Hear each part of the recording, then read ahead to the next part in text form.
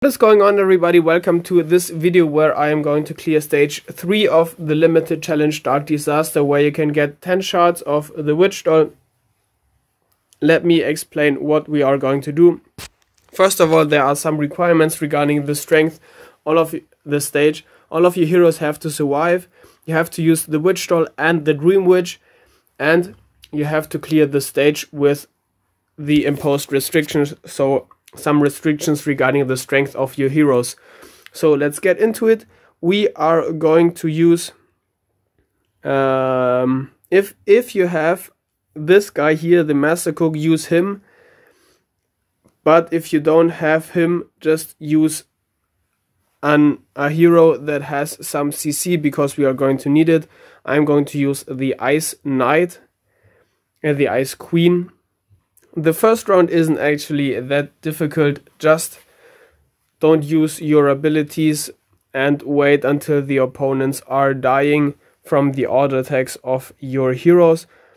You can use an one ability, but you actually don't need to because Prima Donna is healing your heroes back up. And we are just using our abilities in the next round.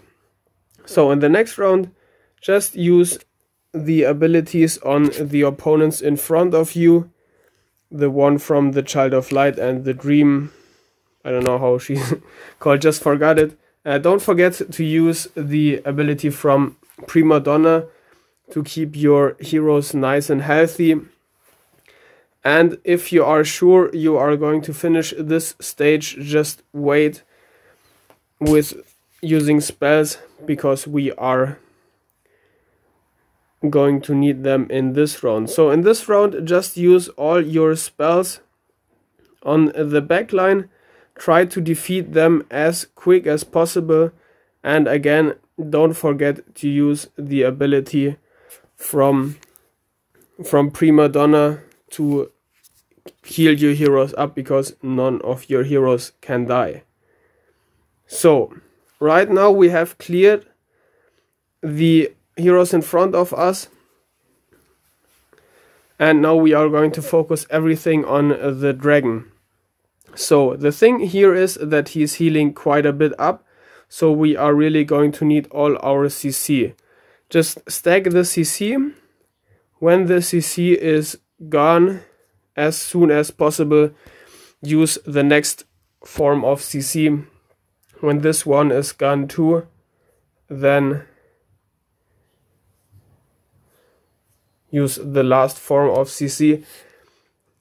Don't forget to use the damaging spells and hope that you are going to kill this dragon here.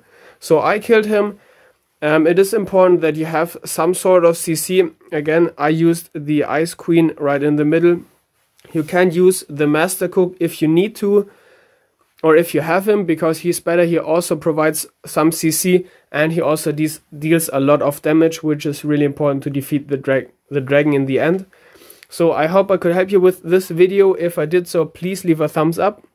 If you managed to clear this stage with some other heroes let me know in the comments below.